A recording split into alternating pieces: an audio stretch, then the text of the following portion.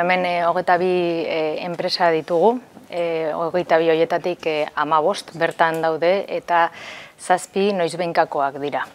Eta, bueno, ba, datu bat e, azpimarratu nahi dut, eta ba, sormenaren inguruan e, euneko berrogeia e, emakumeak e, direla, ez da?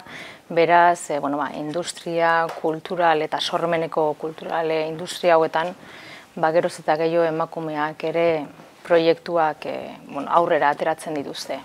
Nahi dut balorean ipini batez ere e, alde batetik e, ingetxon e, bueno, ba, gazteen inguruan e, ikaragarrizko talentoa dugu. Pentsatzen duguna baino askoz gehiago, ze familiak ba, diru asko e, inbertitzen dugu gure e, aurren e, ba, eziketan, ez da? eta formakuntzan. Eta e, beste aldera, ba, bueno, dauzkagun e, pertsona nagusiak, ba, beste modu bateko edo generazio berri bat dela esan genezak ez. E, zergatik esaten dut generazio berri bat, ba, askoz generazio e, aktiboago bat dalako, e, ekarpenak egin nahi ditun generazio bat dalako, formakuntza handia daukan generazio bat delako, eta prestakuntza handia eta esperientzia handia daukan generazio bat delako.